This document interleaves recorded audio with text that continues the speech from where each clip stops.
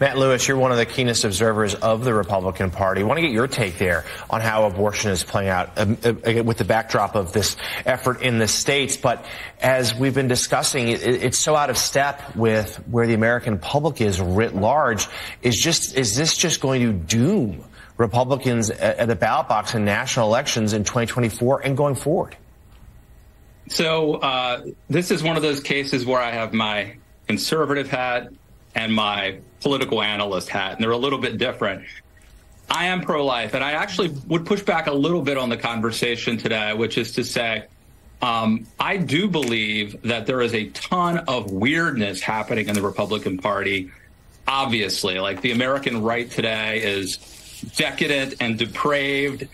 I do believe that the pro life cause, um, there are a lot of honorable people out there, good, decent people who care deeply about the life of the unborn and they want to have a culture of life. And I believe that this should be something that transcends just the unborn. It should be part of that, but also compassion for all sorts of people. You know, the, the immigrant, the the uh, the widow.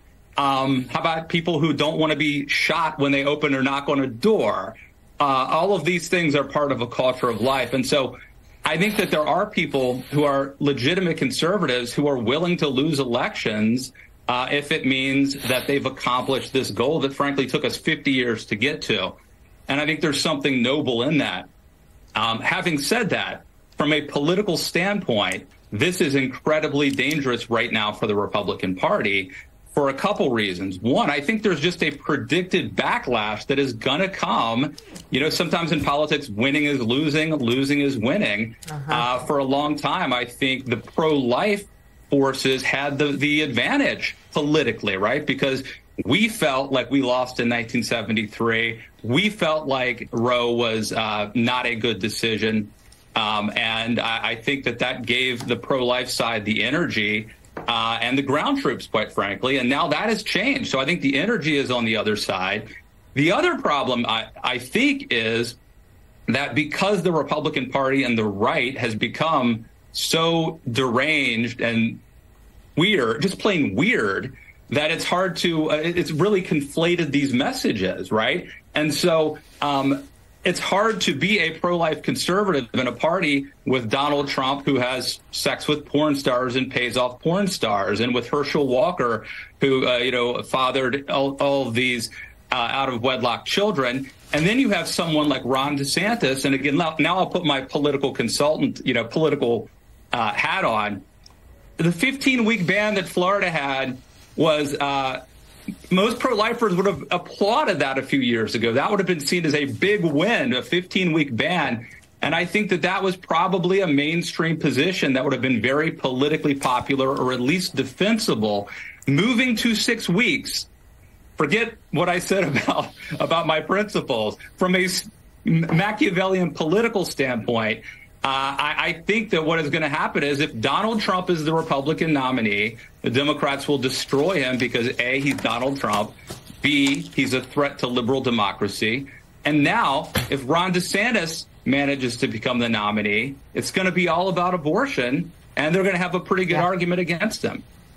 Yeah, and, and, Matt, let me just say, we all know. I think we we, we all uh, here. I don't want to speak for anybody, but most of the people I know that are engaged in politics know people who are pro-life, uh, who are pro-life uh, because they do believe in their heart uh, that life begins at conception, or they believe that uh, uh, that that uh, protection should come in at some point. and you are right. You look at most polls; most Americans support a 15-week limit and a 15-week ban, and then exceptions after that. If you just look at the polling, it, it we the American people's feelings on this track with with Europe, where Europe, most of Europe is on on abortion. But you would have to agree with me. I I, I would assume, uh, like uh, like uh, my pro-life relatives that I spoke with over Easter, that especially the women who were just horrified, horrified by the extremist position state legislatures were taking that would make 10 year old girls flee Ohio, that would make women uh, at, their at a great health risk carry fetuses that are no longer viable to term, that they would be like in severe duress and be sent out of an emergency room.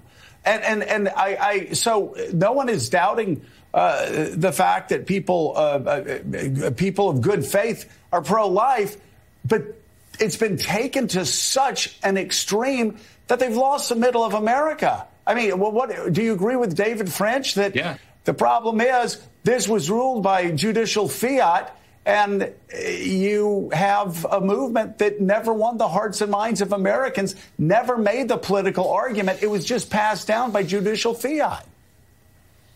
I think that's exactly right, Joe.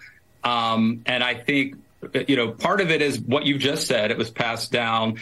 Um, I think part of it is, frankly, that the pro life community spent 50 years trying to overturn Roe, but it's kind of like um, winning the war, but you don't win the peace. We weren't prepared for what happens like after the regime falls. How do we win the peace? How do we win the hearts and minds? Um, and there was very little work done there on building a culture of life and on having a plan forward. You would have thought we had time, but no one was focused on it really. But how do you have time to implement you know, a compassion, a compassionate response that is common sense that could win middle America over. Uh, very little time was done on that. And then the other problem, Joe, is that if Roe had been overturned 20 years ago, let's say when George W. Bush was coming in and compassionate conservatism was the ethos, the mentality of the Republican Party, then maybe it would have looked different. But Roe was overturned at the exact moment when the Republican Party was be, being much more radical, much more mean spirited, and uh, maybe even especially true at the state level. Uh, and so it was really kind of a perfect storm. And, uh, you know, again, I'll, I'll, say I think that there are a lot of pro life uh, Americans out there who are, uh, you know, compassionate and deeply believe in this cause. But from a political standpoint, uh, it was it is going to be uh, a rough road ahead uh, politically, certainly. Matt Lewis, thank you for being on this morning. We'll see you again soon.